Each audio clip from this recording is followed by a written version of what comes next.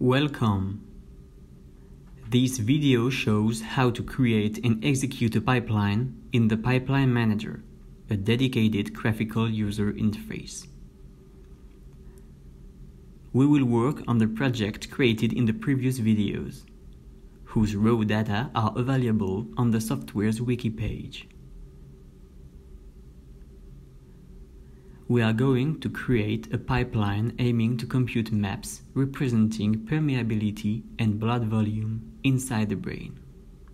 This pipeline, composed of 10 modules, will be created and executed on one subject and will then be applied on all the subjects of our database.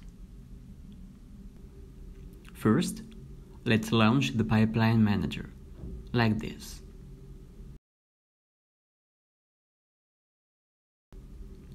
Then, one can filter the database of our project by selecting the tag to filter, choosing the wanted values, and clicking on Add.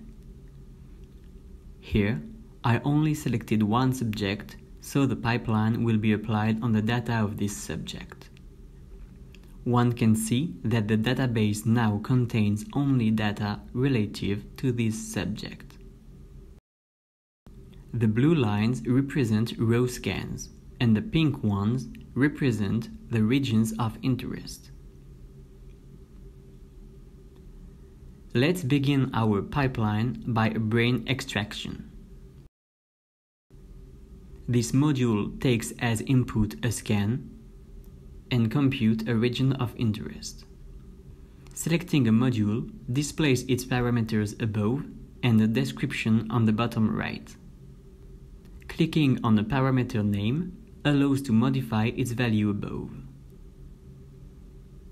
Here, I select the scan on which I want to compute the module, the scan T2.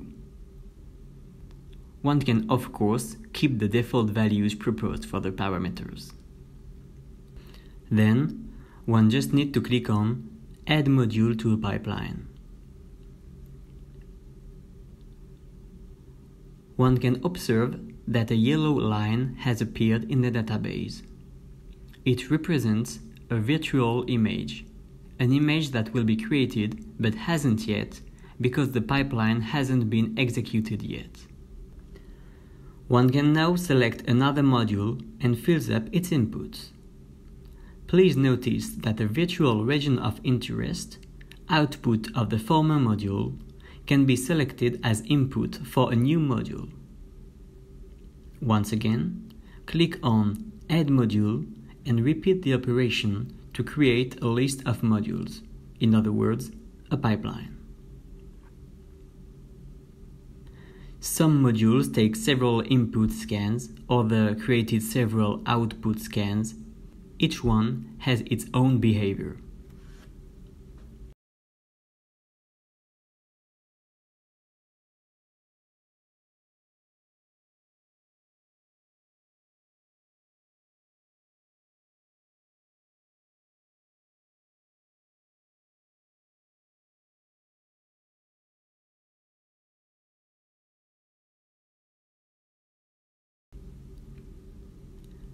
Once a pipeline is designed, one can save it by clicking on Save and by typing its name.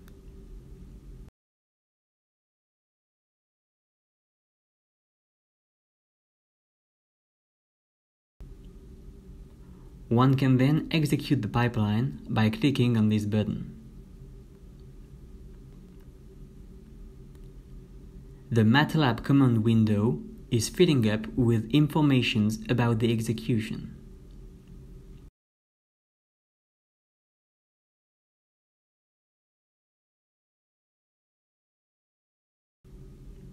Once the pipeline is done, one can go back to the viewer and open the resulting scans.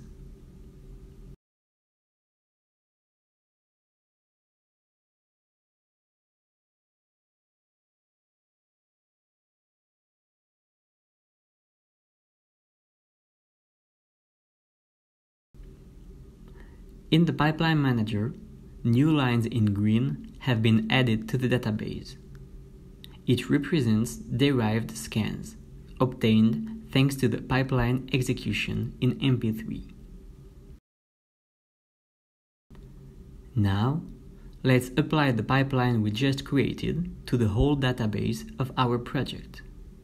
Click on All Database to remove all the previous filters and load the previously saved pipeline by clicking on Load. After a while, depending on the sizes of the database and the pipeline, the modules' names are displayed in orange. Clicking on one of the modules displays on the right a list of the jobs created. A job is an instance of a module. Here, there are six jobs because the module, applied on the whole database, can be executed six times. Indeed, this module takes a T2 scan as input and there is C T2 scans in our database. One job is orange because the output region of interest already exists. It was created during the former execution. The others jobs are in green because their output don't exist yet. When executing this pipeline, one can choose to overwrite those existing files or to remove the jobs previously executed. Here, I chose to remove those jobs. Then, the remaining 50 jobs are about to be executed.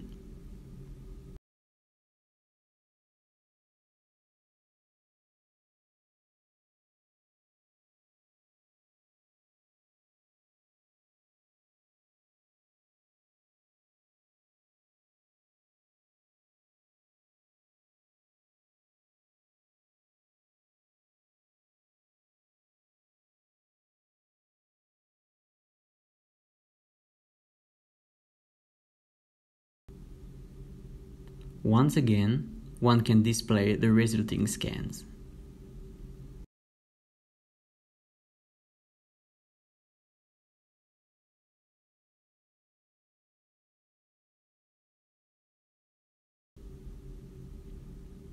Now, let's create another pipeline in order to compute statistics and quality control of our project. I select a module aimed to compute the mean and the standard deviation inside regions of interest, and another aimed to create an HTML quality control report of the scans and the regions of interest.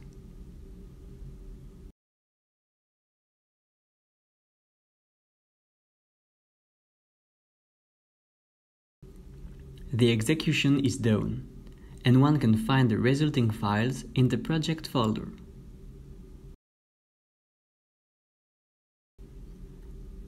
Here, a CSV file represents the mean and standard deviation of a scan in our two regions of interest for each session. One can observe that the intensity of the T2 scan is globally higher in the tumor than in the contralateral tissue.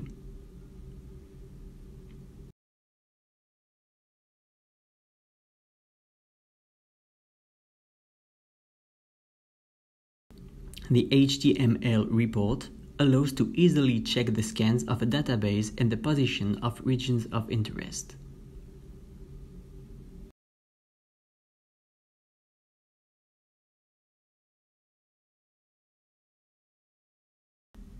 MP3 also provides an option, called File History, to display all the modules executed to compute the loaded scan along with their parameters or even their execution date.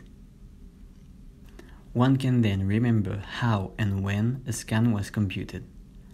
And we believe this is a key feature to assure the reproducibility of analysis and results. Thanks for watching. See you in the next video to improve your MP3 utilization.